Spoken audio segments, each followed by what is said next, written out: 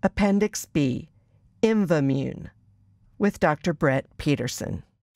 Imvamune is an attenuated, live, replication deficient vaccine containing modified Vaccinia ankara, or MVA. MVA is a Vaccinia virus strain that became replication restricted to avian cells following greater than 570 passages in primary chicken embryo fibroblast cells and is manufactured by Bavarian Nordic. Unlike replication competent smallpox vaccines, Imvamune does not produce a lesion at the vaccination site and does not present any risk for secondary transmission. The vaccine is currently supplied as a sterile, liquid frozen preparation in single dose 2 milliliter vials. Imvamune contains no adjuvants and no preservatives, but may contain trace amounts of residual host cell DNA and protein, benzonase, and gentamicin. The regulatory mechanism by which Imvamune will be made available and the populations covered, including individuals with HIV infection or atopic dermatitis, will be conveyed during a smallpox emergency event. Since Imvamune vaccination consists of a two dose series administered four weeks apart, the medical decision for Imvamune vaccination of these individuals should be assessed against the risk benefit of vaccinating an individual with a single dose of ACAM 2000. Individuals receiving primary vaccination with Imvamune are not considered protected until two weeks after the second dose. The assessment should take into account an individual's current immune status as well as the individual's risk for smallpox infection. Although persons vaccinated with Imvamune might have a lower risk for serious adverse events, this might be outweighed by the uncertainty in clinical effectiveness to prevent disease and provide rapid protection. Persons at high risk for complications from replication competent smallpox vaccines are often at higher risk for severe smallpox. For these reasons, persons with a known exposure to smallpox virus should be vaccinated with a replication competent smallpox vaccine unless severely immunodeficient. Persons without a known smallpox virus exposure might still be at high risk for developing smallpox infection, depending on the magnitude of the outbreak and the effectiveness of the public health response.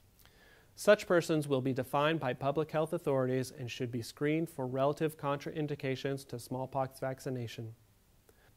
Persons with relative contraindications should be vaccinated with Imvamune when available and authorized for use by the Food and Drug Administration. The route of administration of the vaccine is subcutaneous. Imvamune 0.5 milliliter is injected under the skin preferably in the deltoid region of the non-dominant upper arm, in two doses at 0 and 4 weeks for primary vaccinees. Individuals previously vaccinated against smallpox can receive a single 0.5 milliliter dose. Imvamune does not produce a visible cutaneous reaction following administration. Imvamune is currently supplied as a sterile frozen liquid product 0.5 milliliters in 2 milliliter vials stored at minus 25 degrees Celsius to minus 15 degrees Celsius. Each vial contains one dose of Imvamune.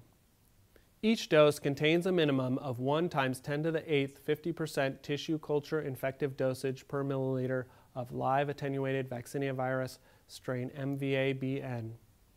The efficacy of Imvamune against smallpox during an emergency is unproven and cannot be clinically tested due to the global eradication of the disease in humans.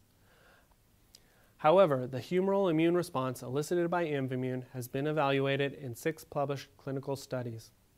Overall, Imvamune was determined to elicit a humoral immune response when evaluated using total IgG antibody, enzyme linked immunosorbent assay, or ELISA, and plaque reduction neutralization, or PRNT assays.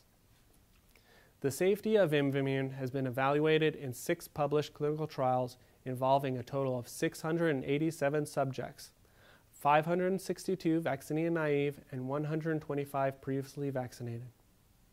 Subjects ranged in age from 18 to 60 years, and all were healthy with the exception of 91 HIV infected subjects. The doses of vaccine administered in these trials ranged from 1 times 10 to the 6th to 1 times 10 to the 8th 50% tissue culture infective dosage. Vaccine naive subjects received two doses, while previously vaccinated subjects received only one dose. Vaccine was administered either subcutaneously or intramuscularly. No deaths were reported. Common vaccination complications reported were typical for subcutaneously administered vaccines local injection site and general systemic reactions, fatigue, headache, and myalgia.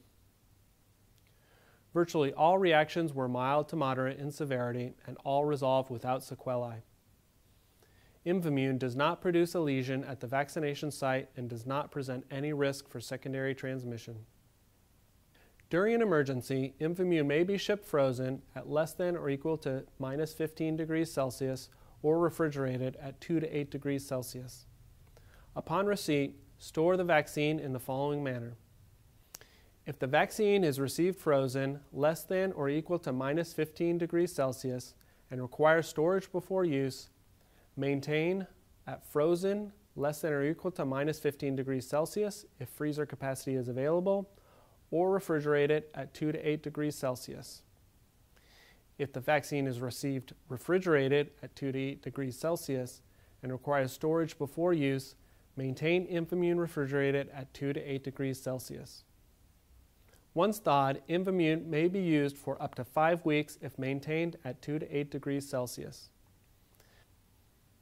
Given the need for two doses, the length of time required to acquire immunity, up to six weeks, and lack of demonstrated efficacy of Imvamune, all vaccinees should be instructed to take protective measures in addition to being vaccinated with Imvamune, such as avoiding crowded public places until the outbreak in the community has been controlled and avoiding direct contact with household members who have been recently vaccinated with a replication competent smallpox vaccine such as ACAM 2000 or APSV until their vaccination scab has fallen off their vaccination site two to four weeks after vaccination.